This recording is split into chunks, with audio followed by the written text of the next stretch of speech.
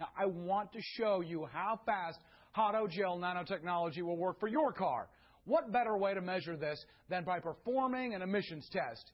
Here we have three very common vehicles, a 1995 Volkswagen Golf GL, a 1998 Saturn SL2, and a 2003 Honda CRV. Emission tests can really show you two things. They can show you how many pollutants your car is releasing into the environment, but more importantly, at least when it comes to your pocketbook, they can show you how efficiently your engine is performing and consequently how much gas you could be wasting.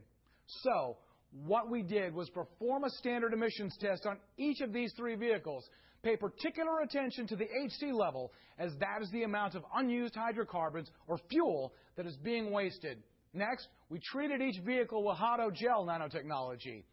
Adhering to the recommended treatment schedule, we then drove each vehicle under normal conditions for about a thousand miles.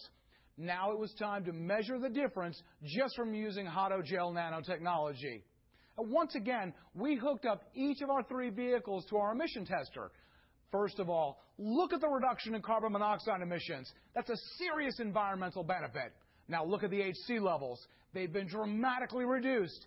XADO Gel has actually improved the efficiency of each engine and consequently increased the fuel economy. That's money in the bank.